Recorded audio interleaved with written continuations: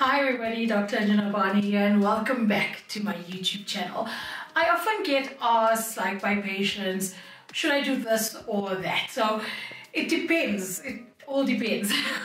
and then uh, most of the time you can actually do a combination of the two. But one of the things we get asked is this or that. So polynucleotides versus um, a high concentration uh, hyaluronic acid bioremodeler.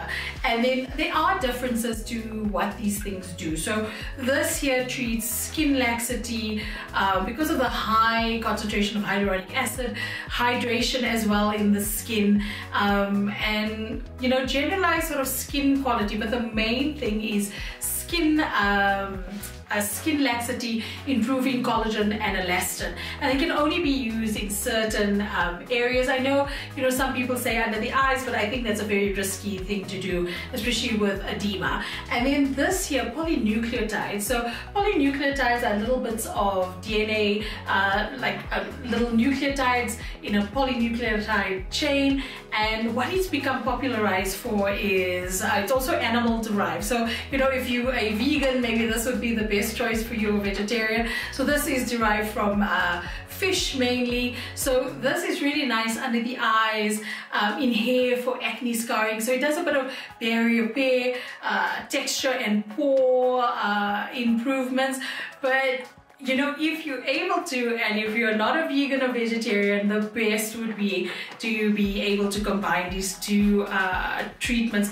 And in terms of how often you'd have to do this, so definitely more than once, once a month at least, maybe uh, three to five times, depending on the severity. This is actually the body version of it, but off-label we do use it in the in the face in severe cases, especially lots of uh, elastosis, lots of accordion lines, but uh, from the neck down, uh, often uh, one treatment looks great, but you know, two treatments are, are recommended. So between these two is totally patient dependent. So if you want like uh, a barrier repair, if you've got dark circles, a bit of hair rejuvenation, this would be a great um, something to use. Uh, if you've got skin laxity and need a bit of a, a lift, in your body or your face, this would be something uh, to consider. If you have any questions about either of these two, drop them in the comments down below, like, share, and subscribe. Thanks, guys. Bye.